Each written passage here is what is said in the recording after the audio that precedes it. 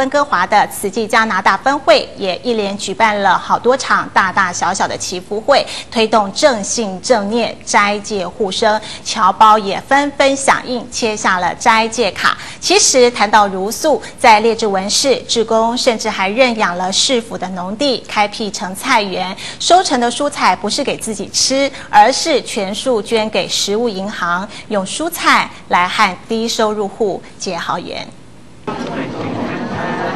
好人多的地方就是福地。踏进加拿大分会，不管是志工或会众，都有同样的感受。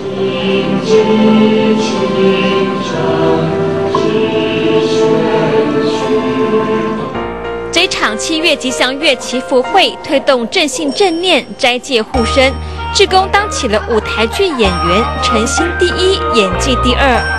这个是青菜，啊，好几道。青菜，哎，这往来插金丝呢，哎，好棒的。用祈福取代普渡拜拜，这一张斋戒卡，人人签得认真。祝福吉祥。我来加拿大家哈，啊，看到大家哈，啊，拢无收金纸啊，哈，啊嘛，安尼生活去这么富有，这么快乐哦，哈，啊，这就是咱上有福报的所在。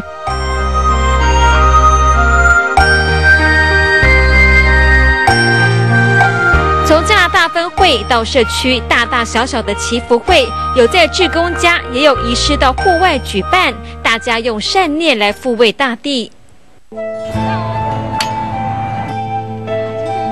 而如素多吃蔬果，也是列治文市的慈济志工与社区结好缘的方式。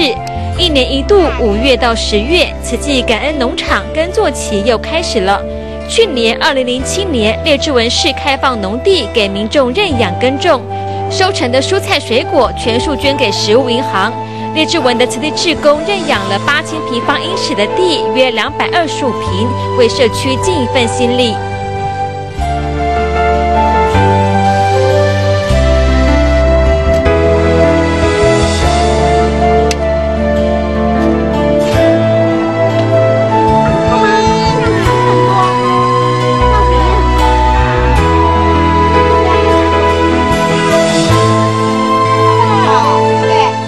有机的哈，我们完全不施农药，都是以我们台湾的经验来这边种。